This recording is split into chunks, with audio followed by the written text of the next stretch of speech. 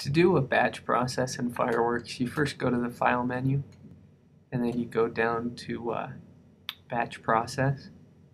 That'll bring up this screen where you can select files that you're going to be uh, running processes to, either resizing all of these pictures or changing them all to black and white.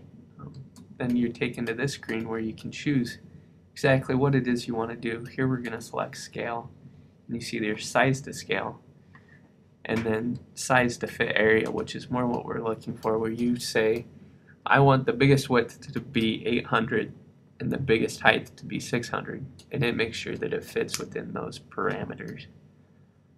And that's typically the best when you're when you're scaling. And then I'm also going to add renaming.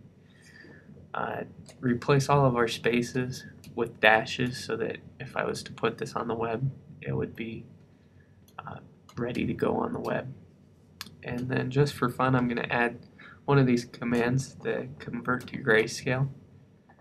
Uh, just to show you how that works obviously.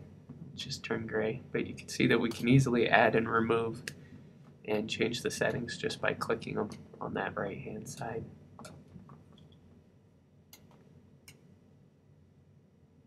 Once you're through with that you just go to the next step which is selecting where you're going to save them and also where the backups will save to.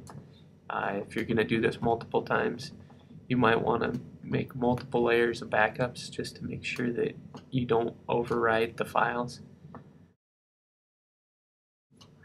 Now that we've got them almost done here, we take a look at our source and you can see where there were PSDs. They've all been converted to GIFs just like we wanted. If we open one, fits the parameters that we saved it as with that a smaller width, grayscale. And it's that simple to batch process. Uh, go to photographycourse.net for more photography tips.